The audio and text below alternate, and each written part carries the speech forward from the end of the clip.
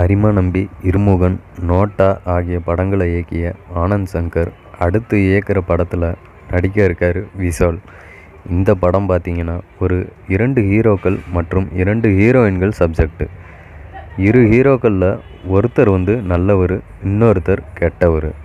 இவர்களின் மோதல் தான் படத்துடைய கதை. இதில் விஷால் நல்ல கேரக்டரில் நடிக்க இருக்கார்.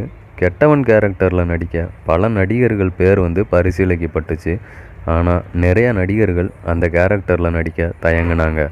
இந்த நிலையில் விஷாலுக்கு வில்லனாக நடிக்க ஆர்யா ஒத்துக்கிட்டாரு அப்படின்ட்டு தகவல்கள் வெளியாகியிருக்கு இதில் விஷால் ஜோடியா ரீத்து வர்மா நடிக்க பேச்சுவார்த்தை நடந்துக்கிட்டு இருக்கு.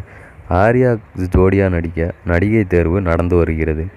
விஷாலும் ஆர்யாவும் அவன் இவன் படத்தில் அண்ணன் தம்பிகளாக நடிச்சிருந்தாங்க. இரும்பு திரை படத்தில் விஷாலுக்கு வில்லனாக நடிக்க ஆர்யாவை கேட்டாங்க. அப்போ ஆர்யா மறுத்து விட்டார் அதுக்கப்புறம் தான் அர்ஜுன் அந்த இரும்பு திரைப்படத்தில் வில்லன் கதாபாத்திரம் பண்ணார். இப்போ இந்த படத்தில் நடிக்க ஒப்புக்கொண்டு இருப்பதாக சொல்லப்படுது. இதன் படப்பிடிப்புகள் பிப்ரவரி மாதத்திலிருந்து தொடங்க இருக்குது முறையான அறிவிப்பு பொங்கல் அன்னைக்கு வெளியிடப்படும் அப்படின்ட்டு படக்குழுவினர் சொல்லியிருக்காங்க.